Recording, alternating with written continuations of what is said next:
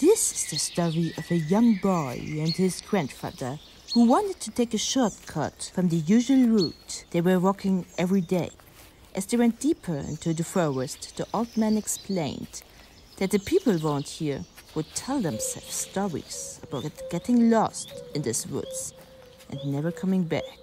But the grandfather was not a superstitious man, and his orientation never failed him before. Grandfather, I think there's something behind us.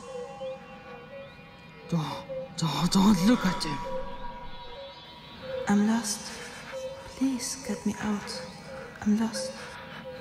Then you may follow us. We lead the way.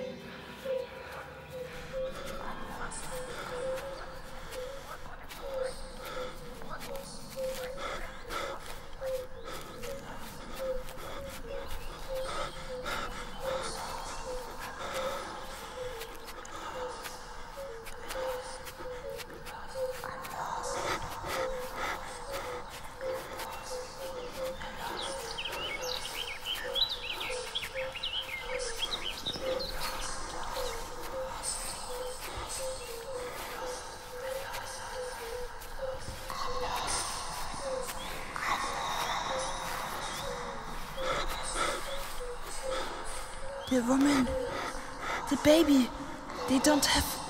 We, we do have to run. Let's run.